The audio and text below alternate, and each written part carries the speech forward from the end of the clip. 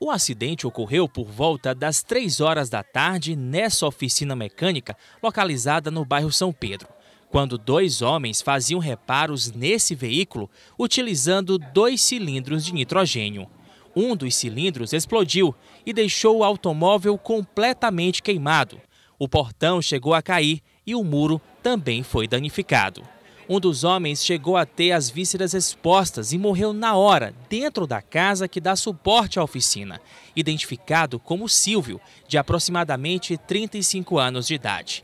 O outro homem foi encaminhado com queimaduras graves para o HUT. Foi conduzido para o HUT com queimadura de segundo grau no rosto e escoriações pelos membros superior. Não é aconselhável você usar, você ter, armazenar gás em casa. Os moradores da rua tomaram um grande susto. Quando eu vi o fogo pegando na mangueira, eu fui tentar socorrer meu vizinho meu com o irmão, só que fiquei com medo, né? Eu digo, eu não vou arriscar também, o povo chegando a sair fora, capaz não aguento não.